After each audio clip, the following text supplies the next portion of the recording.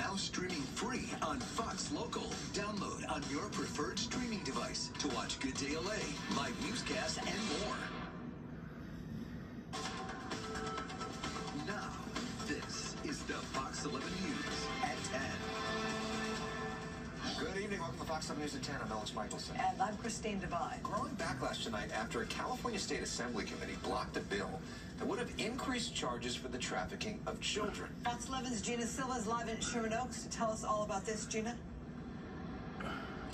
Well, I can tell you it was a complete shock to many of the people who support this bill. And those who were there this morning, they could not contain their outrage.